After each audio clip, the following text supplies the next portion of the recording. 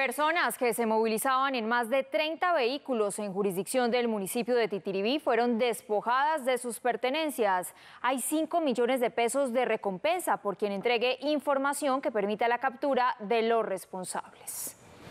Se trata del tercer robo masivo que se registra en las vías del suroeste en las últimas semanas. En este hecho, que se dio en la vía que comunica Titiribí con el corregimiento de Albania, falleció el conductor de un taxi luego de recibir dos disparos. Se calcula que pudieron haber sido atracados entre 20 y 25 motos y unos 6 u 8 vehículos.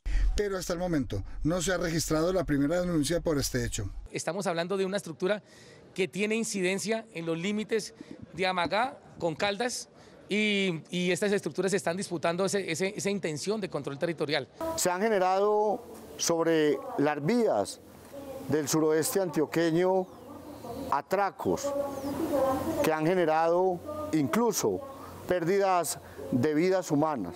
Los mandatarios del suroeste solicitan mayor presencia de la fuerza pública en los corredores viales que garantice seguridad en la región.